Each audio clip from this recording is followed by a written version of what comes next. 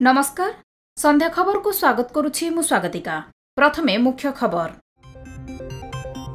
ଆସନ୍ତା ପନ୍ଦରରେ ବଲାଙ୍ଗୀର ଗସ୍ତରେ ଆସିବେ ପ୍ରଧାନମନ୍ତ୍ରୀ ପ୍ରକାଶ ପାଇଲା କାର୍ଯ୍ୟସୂଚୀ ମହାମେଣ୍ଟରେ ସାମିଲ ହେବ ନାହିଁ ବିଜେଡି ସ୍ପଷ୍ଟ କଲେ ମୁଖ୍ୟମନ୍ତ୍ରୀ ନବୀନ ପଟ୍ଟନାୟକ ପଞ୍ଚଦଶ ଅର୍ଥ କମିଶନଙ୍କ ବୈଠକ ପାଞ୍ଚଟି ପରାମର୍ଶ ଦେବା ସହ ବିପର୍ଯ୍ୟୟ ପରିଚାଳନା ପାଇଁ ପ୍ୟାକେଜ ଦାବି କଲେ ମୁଖ୍ୟମନ୍ତ୍ରୀ ଶ୍ରୀମନ୍ଦିର ସଂସ୍କାର ମାମଲା ନୂତନ ଆମିକସ୍ କ୍ୟୁରି ଭାବେ ନିଯୁକ୍ତ ହେଲେ ରଞ୍ଜିତ କୁମାର ରାୟଗଡ଼ା କଲ୍ୟାଣ ସିଂହପୁରରେ ଦିନ ଦ୍ୱିପହରରେ ଲୁଟ୍ ଫାଇନାନ୍ସ କର୍ମଚାରୀଙ୍କଠାରୁ ଲୁଟ୍।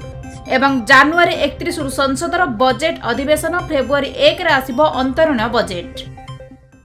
ଏଥର ଆସିବା ସମ୍ପୂର୍ଣ୍ଣ ଖବରକୁ। ଆଗାମୀ ପନ୍ଦର ତାରିଖରେ ବଲାଙ୍ଗୀର ଗସ୍ତରେ ଆସୁଛନ୍ତି ପ୍ରଧାନମନ୍ତ୍ରୀ ନରେନ୍ଦ୍ର ମୋଦି। ଏନେଇ ଆଜି କାର୍ଯ୍ୟସୂଚୀ ଜାରି ହୋଇଛି। ସକାଳ ନଅଟା ତିରିଶରେ ଝାରସୁଗୁଡ଼ା ବିମାନ ବନ୍ଦରରେ ପହଞ୍ଚିବେ ମୋଦି। ସେଠାରୁ ହେଲିକପ୍ଟର ଯୋଗେ ବଲାଙ୍ଗୀର ଯିବେ। ବଲାଙ୍ଗୀରରେ ପହଞ୍ଚି ବିଭିନ୍ନ ପ୍ରକଳ୍ପର ଉଦ୍ଘାଟନ ସହ ଭିତ୍ତିପ୍ରସ୍ତର ସ୍ଥାପନ କରିବେ ମୋଦି। ଏହାପରେ ଏଗାରଟା ପଇଁଚାଳିଶ ମିନିଟ୍ରେ ପଥରଚେପା ପଡ଼ିଆରେ ଆୟୋଜିତ ଏକ ସାଧାରଣ ସଭାରେ ଯୋଗଦେବେ ସେଠାରୁ ସେ ଝାରସୁଗୁଡ଼ା ଯାଇ ଅପରାହ୍ନ ଗୋଟାଏ ପଇଁଚାଳିଶ ମିନିଟ୍ରେ କେରଳ ଯିବାର କାର୍ଯ୍ୟକ୍ରମ ରହିଛି। ଦୁଇହଜାର ଉଣେଇଶ ଲୋକସଭା ନିର୍ବାଚନରେ ବିଜେପିକୁ କ୍ଷମତାରୁ ଦୂରେଇ ରଖିବା ପାଇଁ ଜାତୀୟ ସ୍ତରରେ ବିଭିନ୍ନ ଆଞ୍ଚଳିକ ଦଳକୁ ନେଇ ମହାମେଣ୍ଟର ପ୍ରସ୍ତୁତି ଚାଲିଛି।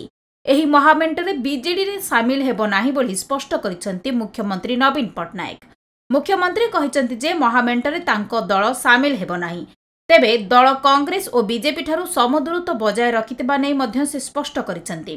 ବିଜେଡିର ଆଭିମୁଖ୍ୟକୁ ରାଜନୈତିକ ବିଶେଷଜ୍ଞମାନେ ଦୋମୁହା ନୀତି ବୋଲି କହିଛନ୍ତି। ଟ୍ୟାକ୍ସ ଡିଭଲ୍ୟୁସନ ମାମଲାରେ ରାଜ୍ୟମାନଙ୍କୁ ବର୍ତ୍ତମାନ ଦିଆଯାଉଥିବା ବୟାଳିଶ ପ୍ରତିଶତ ବଦଳରେ ଏହାକୁ ପଚାଶ ପ୍ରତିଶତ କରିବାକୁ ମୁଖ୍ୟମନ୍ତ୍ରୀ ନବୀନ ପଟ୍ଟନାୟକ ଅର୍ଥ କମିଶନଙ୍କ ନିକଟରେ ଦାବି କରିଛନ୍ତି।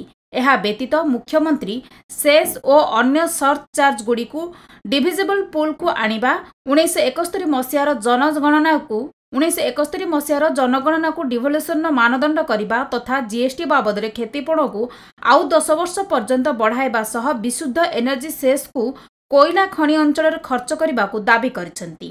ପନ୍ଦରତମ ଅର୍ଥ କମିଶନ ସହ ବୈଠକରେ ଉଦ୍ବୋଧନ ଦେଇ ମୁଖ୍ୟମନ୍ତ୍ରୀ ନବୀନ ପଟ୍ଟନାୟକ ଦାବି କରିଛନ୍ତି। ଏହି ଅବସରରେ କମିଶନର ଅଧ୍ୟକ୍ଷ ଏନ୍ କେ ସିଂ ଓ ଅନ୍ୟ ସଦସ୍ୟମାନେ ଉପସ୍ଥିତ ଥିଲେ। ପ୍ରାକୃତିକ ବିପର୍ଯ୍ୟୟ ପରିଚାଳନା ପାଇଁ ପ୍ୟାକେଜ ପ୍ରଦାନ କରିବାକୁ ଅର୍ଥ କମିଶନଙ୍କ ନିକଟରେ ଅନୁରୋଧ କରିଛନ୍ତି। ଏ ବାବଦରେ ଅତି କମ୍ରେ ପନ୍ଦରଶହ କୋଟି ଟଙ୍କା ପ୍ରଦାନ କଲେ ଅଧିକ ବାତ୍ୟା ଆଶ୍ରୟସ୍ଥଳୀ ନିର୍ମାଣ କରିବା ସହ ଚେତାବନୀ ପ୍ରଣାଳୀରେ ସୁଧାର କରାଯାଇପାରିବ ବୋଲି ମୁଖ୍ୟମନ୍ତ୍ରୀ ପ୍ରକାଶ କରିଛନ୍ତି। ପରବର୍ତ୍ତୀ ଖବର। ଶ୍ରୀମନ୍ଦିର ସଂସ୍କାର ମାମଲାରେ ଆଜି ମାନ୍ୟବର ସୁପ୍ରିମକୋର୍ଟ ଆମିକସ୍ କ୍ୟୁରି ନିଯୁକ୍ତ କରିଛନ୍ତି। ଭାରତ ସରକାରଙ୍କର ପୂର୍ବତନ solicitor Ranjit Kumar amicus curiae ଭାବରେ ନିଯୁକ୍ତ ହୋଇଛନ୍ତି। ଶ୍ରୀମନ୍ଦିର ସଂସ୍କାର ନେଇ ଆଜି ସୁପ୍ରିମକୋର୍ଟରେ ହେବାକୁ ଥିବା ଶୁଣାଣି ଘୁଞ୍ଚାଯାଇଛି ପରବର୍ତ୍ତୀ ଶୁଣାଣି ଆସନ୍ତା ଫେବୃଆରୀ ପାଞ୍ଚରେ ହେବାକୁ ଥିବାବେଳେ ଏହି ମାମଲାରେ ରଞ୍ଜିତ କୁମାରକୁ ଆଇନଜୀବୀ ପ୍ରିୟା ହିଙ୍ଗୁରାନୀ ସହ ସହଯୋଗ କରିବା ନେଇ ସୂଚନା ଦିଆଯାଇଛି। ପୂର୍ବରୁ ମାନ୍ୟବର ସୁପ୍ରିମକୋର୍ଟ ଗୋପାଳ ସୁବ୍ରମଣ୍ୟଙ୍କୁ ଆମିକସ୍ କ୍ୟୁରି ଭାବରେ ନିଯୁକ୍ତ ଦେଇଥିଲେ। ତେବେ ସେ ଦୁଇହଜାର ଅଠର ନଭେମ୍ବରରେ ବ୍ୟକ୍ତିଗତ କାରଣରୁ ଏହି ପଦରୁ ଅବ୍ୟାହତି ନେବା ପରେ ପଦଟି ଖାଲି ପଡ଼ିଥିଲା।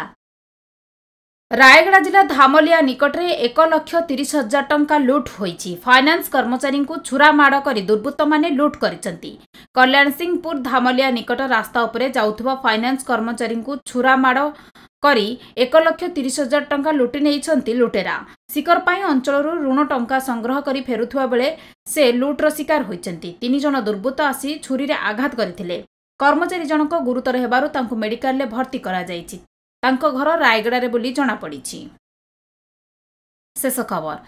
ଆସନ୍ତା ଜାନୁଆରୀ ଏକତିରିଶ ତାରିଖରୁ ସଂସଦର ବଜେଟ୍ ଅଧିବେଶନ ଆରମ୍ଭ ହେବ। ଫେବୃଆରୀ ଏକ ତାରିଖରେ ଲୋକସଭାରେ ଅର୍ଥମନ୍ତ୍ରୀ ଅରୁଣ ଜେଟ୍ଲୀ ଅନ୍ତରୀଣ ବଜେଟ୍ ଉପସ୍ଥାପନ କରିବେ।